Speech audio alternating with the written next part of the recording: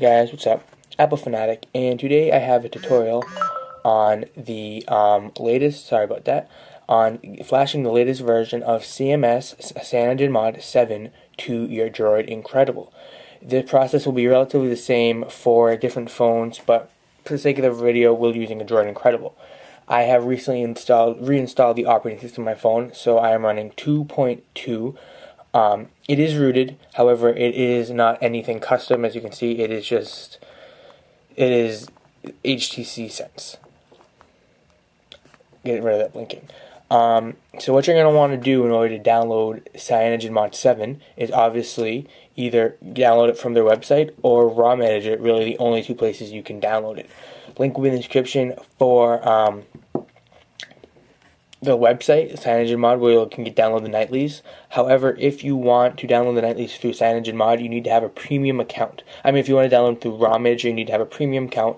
I can't give you an access code to that because it would cost me $4. And I don't want to give you guys that because I don't want it to be taken away. So, um, that's pretty much what you need to do. Let's get started. You're going to want to access your marketplace and I'm gonna have to actually sign in. So let me pause the video and or I can do it right now I recommend being on a um, wireless for this because it is just the quickest way to download any device I mean any program. I don't care if you see my password it doesn't really matter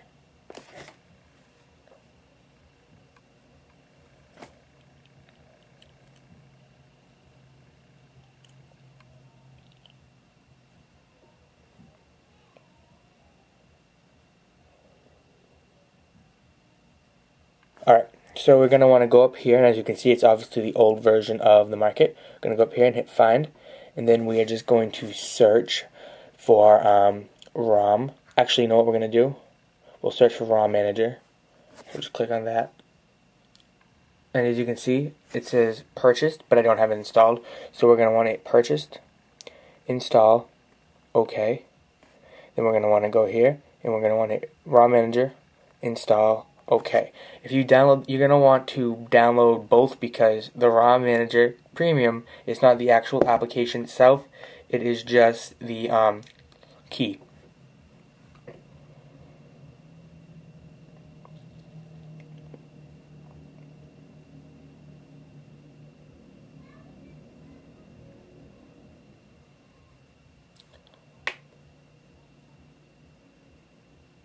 Alright, so as you can see, both ROMs were ROM managers were successfully installed.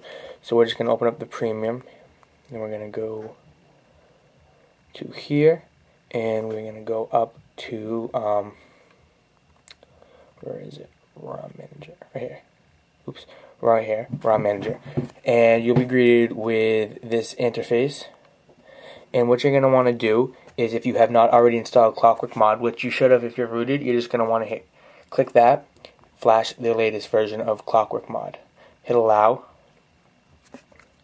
and you successfully flashed it. So you're going to hit OK, and now you're going to want to go to download ROM. And at this point, if you do not have a um, premium code entered in, you will not be able to click this. However, if you have bought one for four or five dollars, you'll be able to download all the CM7s. And if you haven't, you'll be able to download all the CyanogenMods. mods. And um, these are CyanogenMod 7s, however, they're not updated every day. They're updated maybe once a month. And this is a stable release, so go ahead and click this if you want to download a CyanogenMod and you're not um, currently opting in to download by the um, by the RAM, prom, premium account. But for the sake of this video, we're going to go back to the bottom and we're going to hit download and we're going to want to select the latest build. Check back every other day or so and just you can download the ROM, RAM, ROM right from ROM Manager, and you can actually flash it without ever really having to do anything. So we're going to select build number 41, and as a new feature, you will get um, all these new comments, and you're going to want to hit install, I mean hit download, and you're to want to select Google Apps, hit OK, and it will begin to download. Now because I've already downloaded it, we're going to hit OK, and we are going to want to hit wipe data and cache. So we're going to hit both of those. And because something's wrong with my clockwork mod, we're going to my clockwork recovery. I don't know what is wrong with it, but what we're going to do is we're going to hit reboot and recovery. If you know that there's nothing wrong with it, you could have just hit wipe data and cache, and, and I will show you from here. But if you want, just follow these steps. You're going to hit reboot into recovery, hit OK,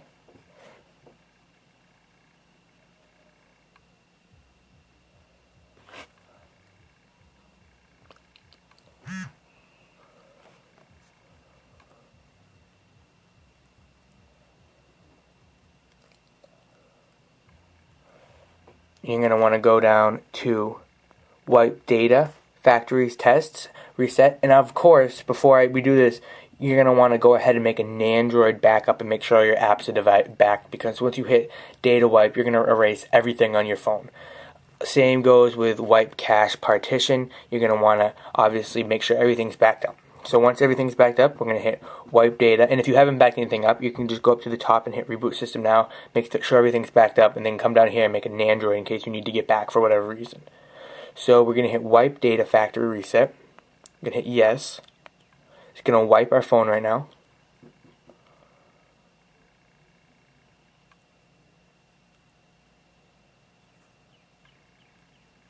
Alright, so as you can see it is successfully wiped. Now we're going to go down to wipe cache partition make sure you do this on a semi-full battery because the last thing you want is for your phone to die midway through the process. Now we're going to want to go to install zip from SD card. And the reason I'm doing it this way is in case anyone has an error, I can show you guys. You're going to want to go down to choose zip from SD. Now you're going to want to go down to Clockwork Mod right here. Let's see if I can show you. Clockwork Mod. It's kind of blurry, so you can't really see. And then you're going to want to download and you're going to want to go down all the way down to downloads.cyanogen. Let's see if you can see it better. Um, it will say downloads.cyanogen.com, cyanogenmod.com. You're going to select that. You're going to want to hit get. Then you're going to select cm underscore inc underscore full dash 41 dot zip or anyone that you've downloaded. So if yours is not a premium or nightly, yours won't say that exactly, but it will be you should be it should be the only one in this folder. So you're gonna want to hit select it and you're gonna hit install. You're gonna hit yes. Now because I have already made a backup of this, I have actually made the same thing. What I'm gonna do is I'm going to go down to Nandroid and I'm going to hit restore and I'm going to restore from my latest backup which is actually I just backed it up a little while ago so I'm going to hit yes it's going to back up my system the backup or the restore will take a lot longer than the in, um, the fresh install. But once it's done fresh installing, I will just show you some of the cool features of Cyanogen. Alright guys, so once your phone has rebooted, you will want to obviously enter all your information and your screen will look relatively like this with a launcher in the bottom. I have obviously customized my device, but this is just a skin. You're still going to be running 2.3.3. I'm going to show you that with ADW settings. Phone settings, we'll scroll down to About Phone and as you can see 2.3.3 baseband same as um, and then I'm running I'm running a custom kernel but uh, if you want to check out the kernels link with the description or you can click on the screen now if I remember to do that. And it will bring you to a video I talked about kernels yesterday um, that's really pretty much it, guys. That's how you flash CM7 from Froyo. It's a very solid device. You can overclock it, underclock it, um, to about 1.3 gigahertz, 1.13 gigahertz, um, on the custom kernel. I mean, on the stock kernel. And then if you want to flash a different kernel, you can overdo about 1.2. Um, I enjoyed it very much so far. I haven't had any issues. Battery life is relatively good. I get about a day and a half of moderate use and about a day of heavy use and standby time about three or four days. So um, it's pretty good. All the apps work fantastic. Um, I had a little bit of issues with this at first, but I got it to work. Um, this and yeah, so that's pretty much it. Let's just open up the market to show you that it works fine. Here's the market. You can download all your apps. None of the apps have crashed yet. So I hope this helped. If you have any questions on how to customize it or any you want any more tutorials on CM7 what customizations I use or what have you, let me know and I will try my best to do it. Uh, the camera, let's just take a quick picture. The camera works.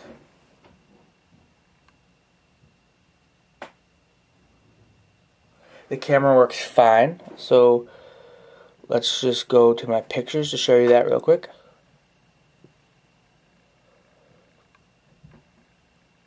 Here's the camera. As you can see, it takes very good pictures. We can zoom all the way in, and you can see the MacBook, and we'll just double tap, go out.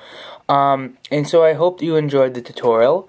If you have any questions, leave a comment in the description, like I said earlier. But for Apple Fanatic, this is me saying peace and have fun with your newly flashed CM7 nightly build.